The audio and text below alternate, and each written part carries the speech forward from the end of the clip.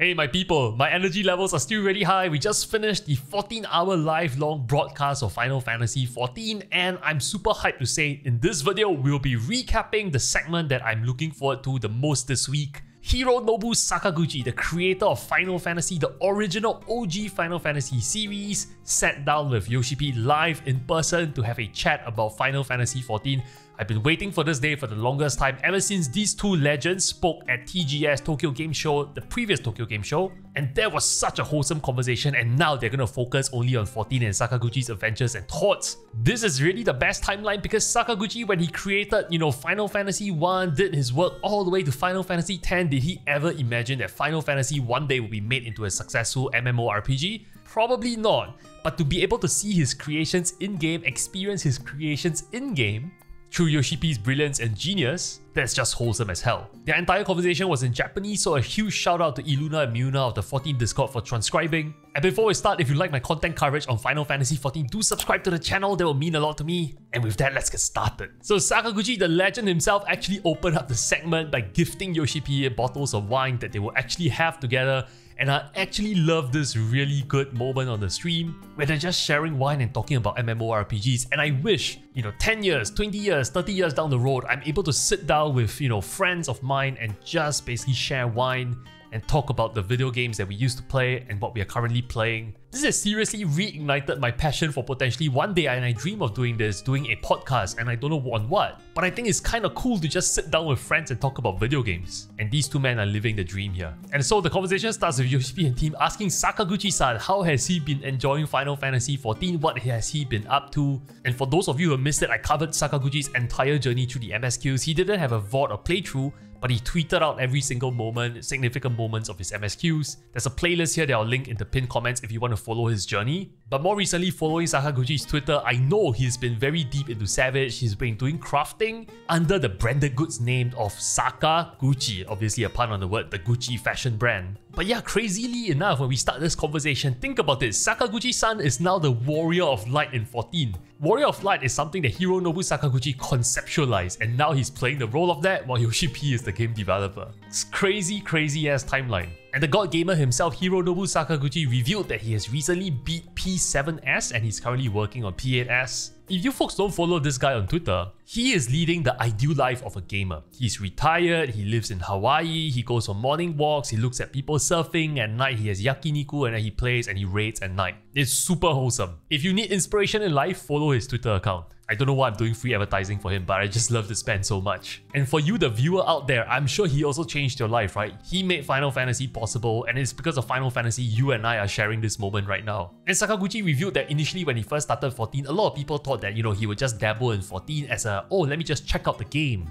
And a lot of people didn't expect Sakaguchi to actually stay on in the game for so long because he's so busy with life, right? He still runs his own game development company. So everyone thought that given how busy this man is, he probably doesn't have time to play another MMORPG. But he said he just kept on going and he's been enjoying his life as a warrior of light in 14. And Sakaguchi revealed, well, in raids, he's been playing the off tank, so for you off tanks out there, know that the man who created Final Fantasy is playing your role. And Sakaguchi is so hardcore, so serious about raiding in Final Fantasy 14, he said that he was not satisfied with a normal 16 by 9 monitor, he wanted a widescreen monitor because for the people who don't know, when you raid in 14, a widescreen monitor does give you a wider POV. So visually, it does allow you to have a broader peripheral vision. But when you read statements like that, you know Sakaguchi is a gamer at heart. He understands what's important min-maxing everything in a game. The quintessential gamer experience. And Yoshi P asked him, you know, how was that going? And Sakaguchi said that, you know, he's turning 60 soon, but he doesn't find it stressful at all to be raiding, he's enjoying his time, and he's taking things at his own pace. He even said that recently he's been thinking about challenging, you know, the savage raiding and some of the PvE content using a different type of controller.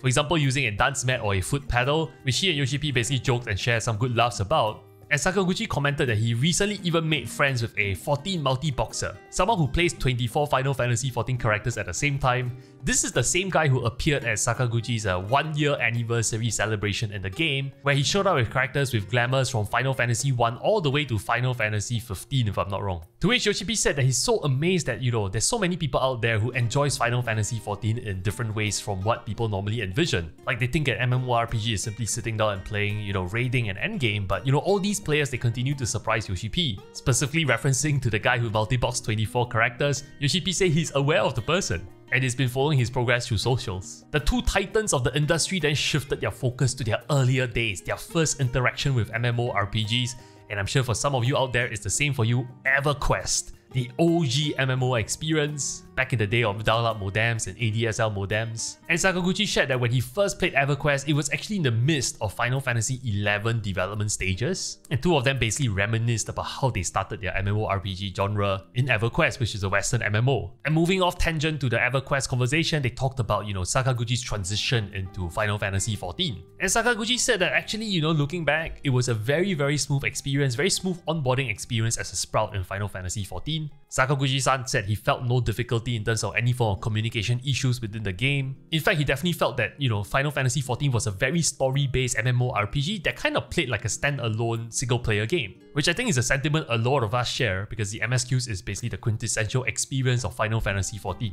The conversation then shifted into Sakaguchi-san's recent experiences and patch 6.2. I guess Yoshi also wants customer feedback here. But more importantly, we all know patch 6.2 was heavily referencing Final Fantasy IV, a Sakaguchi-san creation, right? The fourth series that he created. And Sakaguchi-san gushed about how much he loves, you know, Final Fantasy XIV's integration and references in the 14's new patch. And Sakaguchi-san says that when he looks at things like that, he doesn't just only feel happy, there's a warm, fuzzy feeling inside his heart when he sees his original creations being materialized in an MMORPG that he's actually playing now. I can only imagine his emotions, but even I am getting excited just talking about it. And it's very clear that the OG Final Fantasy creations are, you know, plays a very big role in his heart these days. He also praised Yoshi P for the design of Ilmor in Shadowbringers.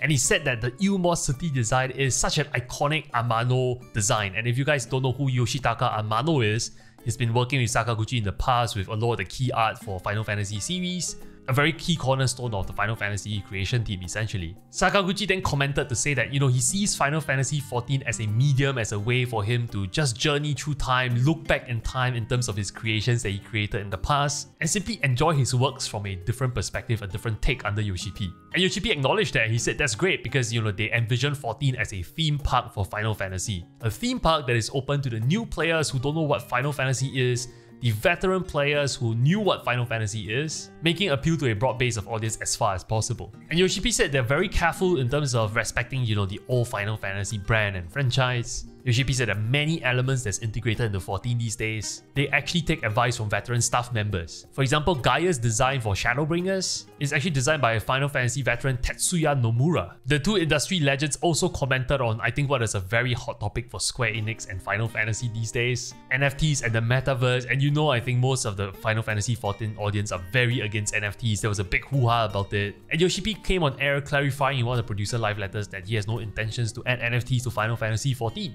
To which Sakaguchi-san said pretty bluntly that he thinks that the metaverse, the whole idea of metaverse is actually conceptualized for profit. And I don't think he said it explicitly, but I think what he was trying to imply here is that the metaverse itself wasn't set up to provide like the best gaming experience to gamers. So the motivation itself came from a different place, from a place of money and profits. And maybe what he's trying to say is he's questioning the implications of this. Because these are two OG game developers, Yoshi P and Sakaguchi-san, who believes that create a product, a good game, a good gaming experience, and people will come. It's kind of like the movie The Field of Dreams. Build it and they will come. But if it's built for profit and not from pure-hearted intention of letting players enjoy themselves in the game, people can feel it. That's actually my own interpretation, Sakaguchi didn't say that in verbatim, but that's what I think he meant. And Yoshi P also took the opportunity to say again and reiterate again that Final Fantasy XIV doesn't gel well with, you know, NFT and blockchain technology, and he has already previously said that they wouldn't do it, so they wouldn't do it. Sakaguchi-san also took the opportunity to make a request to Yoshi P for 14 in-game features. And he says he wants a Kappa costume, a Kappa glamour set. I'm sure you folks know there's a frog costume in the game and he's now requesting for a Kappa costume. Now this Kappa is not to be confused with, you know, the Twitch icon Kappa, but Kappa in Japanese basically refers to an imp. And Yoshi P said his team will definitely look into this request, they'll take note of this. Naturally Sakaguchi is his senpai, right, his uh, senior the person who made Final Fantasy possible, so I'm sure he's showing some respect here. And since they're on the topic of minions, Yoshi P also slipped in a response to say that in patch 6.3 we'll see a new Corgi minion. So if you folks don't know, the Corgi mount was extremely popular. I think it's one of the first few times I've seen something on the Mog Station outsell Fantasias. So yeah, the Corgi minion is coming in 6.3 folks. And Sakaguchi-san also commented that he found it very interesting that there's different cultures on different 14 servers. And Sakaguchi then moved on to praise 14 for how little bugs 14 actually has. And Sakaguchi-san says that this is a pet peeve of his. When he plays a new game, he's always very focused on quality assurance, and he'll try and spot all the different bugs in the game. I think this is a professional hazard, of course. And Foxclon also echoes this sentiment on the broadcast. He says that, you know, he used to play Ultima Online, another very OG MMORPG, but then shortly after when he joined, you know, Square Enix on the 14 team, he's come to realize that whatever is being done by the team does have very little bugs compared to, you know, other video games. And again, this is something that I think a lot of us take for granted. It's always good to remind ourselves how far 14 has come. It's easy to complain about, you know, the shortcomings of 14, but also keep in mind how far the game has actually come. Sakaguchi and Yoshi then started talking about how impressed they are with the general raiding population of 14, and the people who take 14 raiding very seriously, the high-end progression part of the game very seriously, they know how to min-max every little things, timing of buff, buff windows, and they pretty much said it's so amazing to see all these uh, top end players take the game so seriously. They even commented that some players seem to even know more than the developers themselves, which is really pretty awesome. And the two gentlemen then basically randomly jumped to various different topics as, you know, you would imagine between two very good friends. They covered a lot of things under the sun, including, you know, their experiences flying on airplanes these days, Sakaguchi's life in Hawaii, you know, Eastern versus Western cultures when they meet people in person, a lot of the random musings which I wouldn't cover for the purpose of this video, but the way they wrapped it up was really wholesome. So Foxclon basically asked Yoshi P, given that Sakaguchi made a request to Yoshi P himself to say can you please make a kappa costume, is there any request for Yoshi P to Sakaguchi in return? And Yoshi P says that honestly you can't ask for anything more. The fact that Sakaguchi-san, his senpai, his senior, right, played the game Final Fantasy XIV and praised the game, that's actually pretty much all he can ask for. And he said if he really wanted to make a request, that would be if he ever visits Hawaii, for Sakaguchi-san to basically host him and show him around. And as they move towards the end of the broadcast, Yoshi-P then basically gave a joking warning to Sakaguchi to say, hey Sakaguchi-san, if you want to be involved in Final Fantasy XIV Fan Fest in the future and events, just know that the fans have the expectations of you cosplaying as someone from 14, I guess. And Sakaguchi says, well, more than that, he wants to actually sing at a fanfest and Yoshi-P told his team to write it down. And they'll try and get Sakaguchi to sing at the next fanfest. And Yoshi-P gave the final, final words for the 14 hour broadcast wrap up. And I want to read out this paragraph to you because I think it really is so wholesome it really warms my heart. And I feel it's so wholesome and I wish in 10 years, 20 years, 30 years down the road, I'll still be in front of my computer talking to you folks in front of the monitor sharing our love or passion about video games because this is what Yoshi-P said in summary. Yoshi-P apologizes that the segment was largely between two old men talking, and he comments about how life could be wonderful and good things can happen if one keeps living, and hope that players can take their time and enjoy their life. And if Sakaguchi-san himself can enjoy it and have so much fun in 14, he hopes that other players can basically take their time and enjoy the journey too. And last but not least, hopefully the journey never ends and the players will continue to enjoy the journey. And that, ladies and gentlemen, sums up the most wholesome conversation I've ever seen live for a Final Fantasy XIV broadcast. Love these two men to bits. Made such a big impact in my life. I have nothing but gratitude for these two people, and that's just such an amazing way to wrap up the entire broadcast. And so folks, that wraps up this video. Let me know what you guys think in the comments below. Isn't this the best segment and best timeline we're living in? With that said, if you like my content coverage in this video for Final Fantasy XIV, do subscribe to the channel, that will really really mean the world to me. I stream on Twitch, so feel free to swing by to say hello and hang out. Last but not least, if you missed my recap of the producer live letter that was part of the 14th hour broadcast, you can check out the video in the middle of the screen here. That's everything you need to know. Take care and I'll see you real soon.